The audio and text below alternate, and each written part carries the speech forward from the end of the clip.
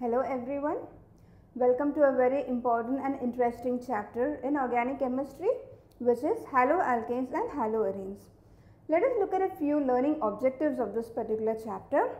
So, in this chapter we are going to study how to name haloalkanes and haloarenes according to IUPAC nomenclature.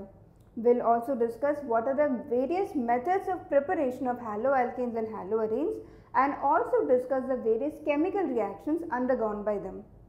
Another important thing we are going to discuss is to study stereochemistry and use stereochemistry to understand the reaction mechanisms of the various chemical reactions undergone by haloalkanes and haloarenes.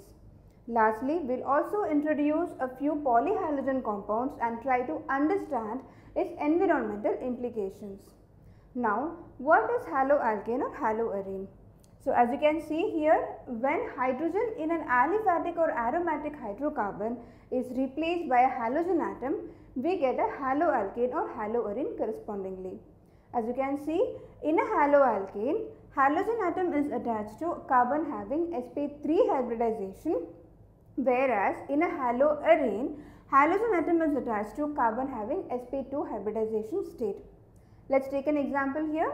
Here we have CH3 CH2Br or ethyl bromide and as you can see here carbon bearing the bromine atom has nothing but sp3 hybridization while C6H5Br or nothing but phenyl bromide has bromine atom attached to carbon having sp2 hybridization state. So before going into the various physical and chemical properties of haloalkanes and haloarenes or the various chemical reactions, let us try to appreciate the importance and applications of haloalkanes and haloarenes. So, as you can see here, the uh, most important antibiotic that is chloramphenicol used for the treatment of typhoid fever is nothing but an example of haloalkane system.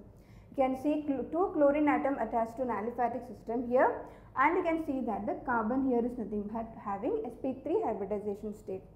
Similarly, chloroquine which is used for the treatment of malaria is nothing but an example of haloarene as you can see easily from the structure that chlorine is attached to an aromatic system here.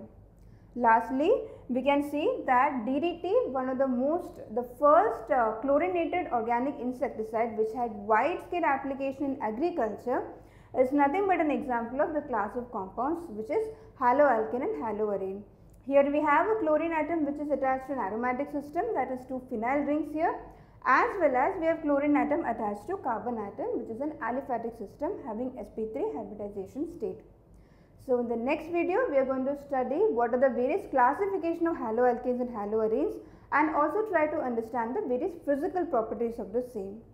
Thank you.